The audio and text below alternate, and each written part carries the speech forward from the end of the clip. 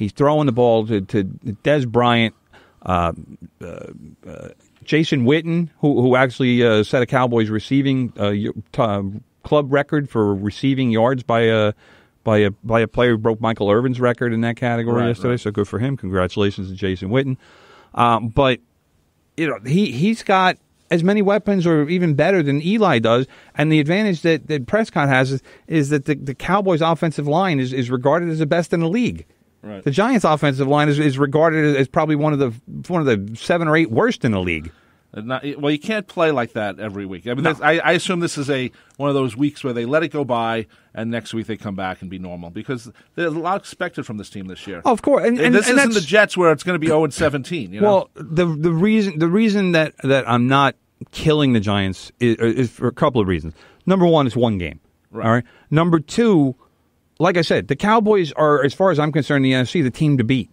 So, yeah, you would have liked to have been uh, have it be more representative game and have it be a more competitive game, but it's week one. Right. So let's not go crazy. Plus, you're missing your best player well- with Beckham being out. So let's see. Let's see what happens in, in you know when a Beckham gets gets back, and let's see what happens the next time they play the Giants. We're going to the take a break Cowboys. right now. You're listening to From the Press Box right here at 90.3 FM WHPC. I'm Rob Leonard. He's Tim Leonard. Tim, you're on Twitter at. At real Tim Leonard.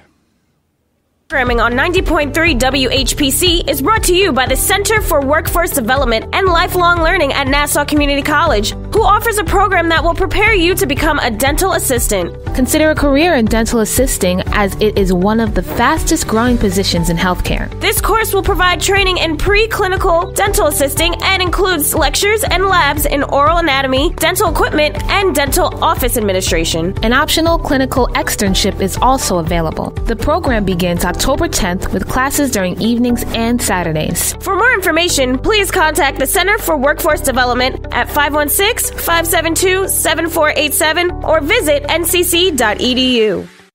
It's almost time to Heart Walk. On Sunday, September 17th, Nassau Community College is going to be at Jones Beach, Field 5, for the 2017 American Heart Walk. Why are we walking? Well, we're not just walking, we're heart walking. Our participation is a way for Nassau Community College to make an impact on the deaths and disabilities from cardiovascular disease and stroke. Please join us. Nassau Community College can make healthier, longer lives possible for everyone. And that is why we're heart walking. A message from the voice of Nassau Community College, 90.3 WHPC.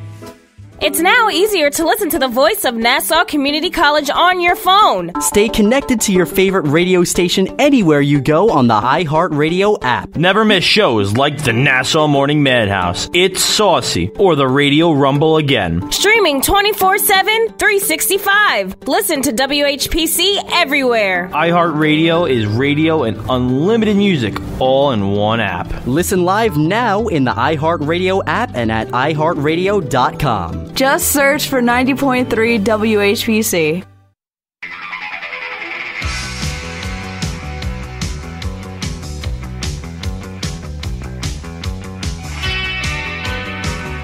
We're back here on, on From the Press Box. I'm Rob Leonard. Joining me is award-winning sports writer Tim Leonard. Hey, Tim. How you doing? On the phone with us. We're going to talk some tennis. We don't normally talk tennis, but you know what? The U.S. Open happens in our town. Close enough. And I, the road. I, I've been there. I, I love going there, even though I haven't gone there, you know, in a while. My, you know, our sister went this year without telling us, of course. Mm. But then she told me why, and I understood why. You know, she was there's Didn't a tell reason, me. Well, there's a reason why. We'll tell, I'll tell you later. Okay. So anyway, um, I, I like to talk tennis. I've always loved watching tennis. I don't know much about it anymore. No, I lo- breakfast at Wimbledon. That we whole, never we never talk. I, I ask you to talk tennis on the show, and you don't want to. Well, you know, I'm, I'm putting that on you I'm putting it on because I on. like I like to spread the sports around. on Of the course show. we do. And on the phone with us, he um, one time sports writer at Newsday, and currently an independent observer of the tennis scene.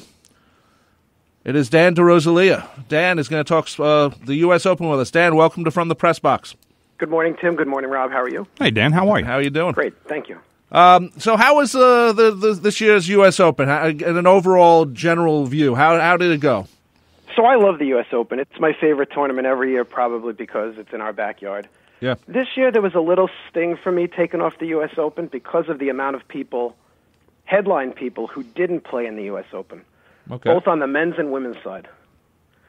Serena Williams missed the tournament. She actually had a baby during the tournament. Well, that's a I was pretty good say, reason. Serena had a good reason not to Good be there.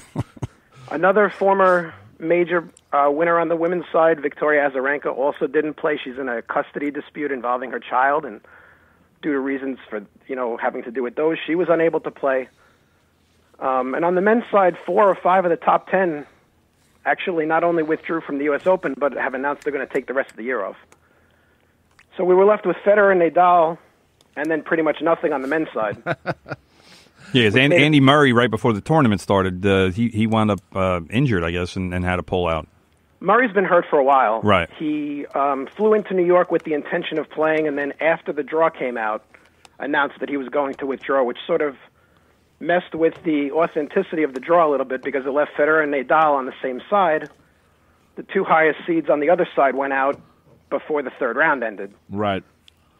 which opened the door for Kevin Anderson to make the final, and he was no competition for Rafa yesterday. No, but it was everyone was hoping for you know the um, uh, Federer Nadal semis. It was it was it was like the wish that didn't happen.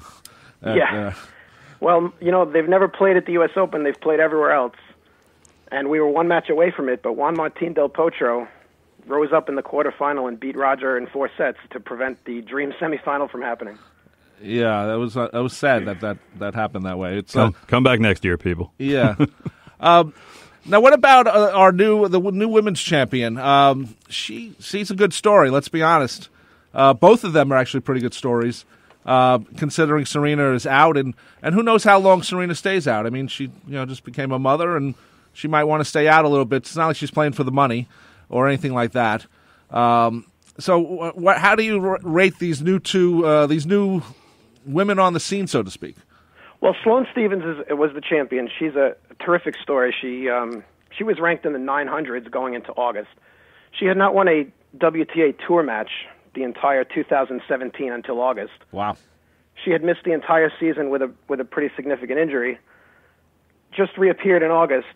Ended up making the semifinals of two straight tune-up events and then won here. So it's a pretty amazing story that she was able to win. Um, she didn't come from nowhere. She was ranked somewhere between 10 and 20, I think around 15 two years ago. She actually beat Serena Williams in the Australian Open in 2015 when she made a semifinal. Oh, okay. So she's not she's not out of nowhere. She's a she's a very good player. She's just been injured. Um, it was a good story because we had four Americans in the semifinals, and none of them named Serena, which is pretty amazing. That's Yeah, true. that's that's what made it more amazing with, with the four women in, in the semis. With it, Serena wasn't one of them. Exactly. Serena wasn't one of them. Now Coco Vandeweghe was one of them, and she's the niece of former New York Knick Kiki Vandeweghe. So there's a little New York touch there. She was also born in New York as well. Oh, cool. But there was a, a, a girl named Venus there who uh, who almost wanted, who could have won A girl, an old lady named Venus. Well, she's 37. you know, it's hard to believe. You know, she's 37. She's still playing. I think of the last generation of players, they they all were retiring at 31, 32, and and and she's still playing. And Serena's a little bit older now, but she keeps winning. So why would you quit? why would you? Um, you know, she still has, uh, I guess, the fire to do it, and that's Mm-hmm. what it's all about. Um, so it was nice to see Venus playing because you know you hear so much now about Venus. I mean, about Serena, that to see uh, Venus Williams in the what it was the semis, yes. it was fantastic. It was a great thing to see. Yeah, at 37 years old, Venus Williams won more Grand Slam singles matches than any woman on the WTA Tour this year, which is pretty amazing. Wow. She made the final at the Australian Open, the final at Wimbledon, and the semifinal here. So she had a really, really great season at 37 years old. Wow, that's uh, really good stuff. At, an- at an age at an age where most players have retired and, and been Yeah. long retired. Yeah, that's so true. that's Well, fantastic. the, you know, the the medicine is better now. The you know the the treatment is better, and people like Roger Federer and Venus Williams, they just love tennis. I don't see him going anywhere anytime soon either. Well, how, how old's Federer? He's 37 also. Wow, Yeah. wow. That's, that's Tommy Haas just played. He just announced his retirement, but he played until he was 39, 40. I mean, people are playing later now. That's a good point about the uh, the better taking care of themselves, and but I think of I think of someone like McEnroe or or Bjorn Borg, who you know you know McEnroe took time off and came back and he was never the same, and I remember Bjorn Borg just basically saying goodnight. yeah. Yeah, there were some rumors about what happened with Borg, but we don't need to get into. Yeah, that's, Yeah, that's let's not let's not do that. um, uh, so what else is going on with uh, U.S. tennis? Yeah, we get we get the four women in the finals. This is this is a very good thing. This is what helps bring people to watch tennis in the United States. I think. What what's is there like a, a new a new day, so to speak, for American women tennis? Uh, this is, I think, to, in my opinion, this is the best American women's tennis has ever been, and and it makes some sense because I do think the best female athletes realize that they can make the most money going into tennis, not the WNBA or professional golf. I think tennis is where it's at for the women. For the, for the for the American men, it's a little bit trickier because they have so many other avenues to use their athleticism. I don't think we're getting the best athletes to play to play American men's tennis. Good point. Good. Yeah, and they actually, I they, there was that was said after the women's final was that, that was kind of a talking point afterwards was that you know if if you're a female athlete and you want to make any kind of significant money, that tennis is the obvious avenue to go to because let's face it, nobody in the WNBA is is, is getting rich.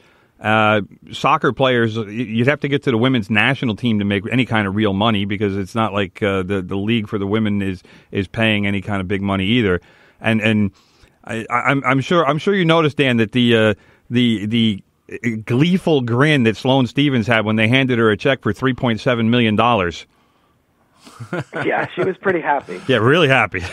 Coco Coco Vandeweghe talked about it going into her semifinals. She she was a top level high school basketball player who didn't really pick up tennis until her teens, and she actually made a conscious decision to go the tennis route over the basketball route because she thought it was more lucrative.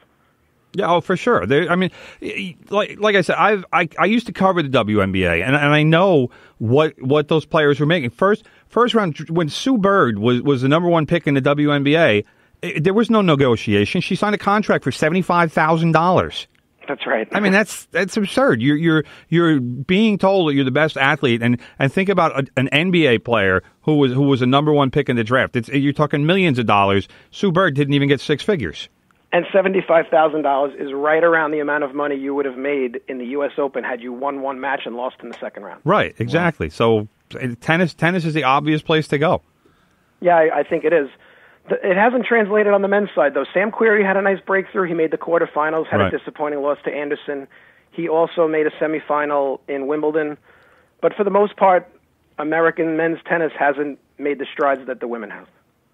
Well, that's true, and and I- I've always thought that the women's tennis for a long time has been a little more popular than the men's. At at least not, you know, because if you have Americans to root for, it's going to be more popular. Yeah. In this you know, country. with with the with the Federer, Nadal, Novak, Djokovic, Andy Murray, I think it's it's more well known. But I actually prefer the women's game. well, it's a little, it's it's slightly slower, but it, it's more, art, it's, more technical. Yeah, y- y- it's, The men's game is is all is all about power. The women's game is more is more technical and there's more strategy involved. and, and every match matters. In, in the men's in, in the men's draw for a long time, it's been a fait accompli that one of those four guys is going to win. Pretty much, yeah. The, the women is a crapshoot. It's any you know every match matters. Anyone can beat anyone. You can w- lose the first round. You can win the tournament. Angelique Kerber two years ago when she won Australia, she she had match point down in the first match in the opening round, and she ends up winning the tournament.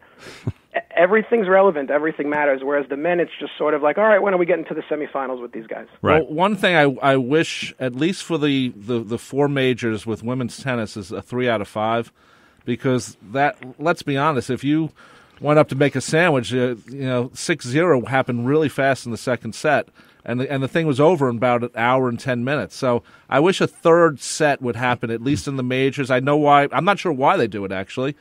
Um, but you know, especially 'cause they kept showing Billie Jean King in the stands, and you know she's fought for equal pay, which is you know the way to do it.